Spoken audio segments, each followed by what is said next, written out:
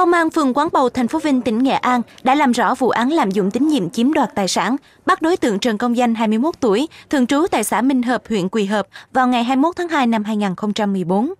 Thủ đoạn của Danh là lợi dụng người quen đến xin ở nhờ trong nhà vài ngày rồi chiếm đoạt tài sản. Trước đó vào cuối tháng 12 năm 2013, Trần Công Danh đến nhà người quen là anh Đặng Văn Hưng ở phường Quán Bầu, thành phố Vinh để xin ở nhờ. Sau 2 ngày, lợi dụng lúc anh Hưng đang ngủ, Danh đã tìm trong cặp tài liệu, lấy toàn bộ giấy tờ xe và dắt chiếc xe rim của anh Hưng rồi bỏ đi và cắt đứt mọi liên lạc. 3 tháng sau, Danh bị công an bắt khi đang vui chơi tại một sàn nhảy ở thành phố Vinh. Tại cơ quan công an, Danh đã khai nhận toàn bộ hành vi của mình. Lợi dụng lòng tin của bạn bè, Danh đã chiếm đoạt xe máy rồi bán được 5,5 triệu đồng. Số tiền này Danh nướng hết vào các sàn nhảy.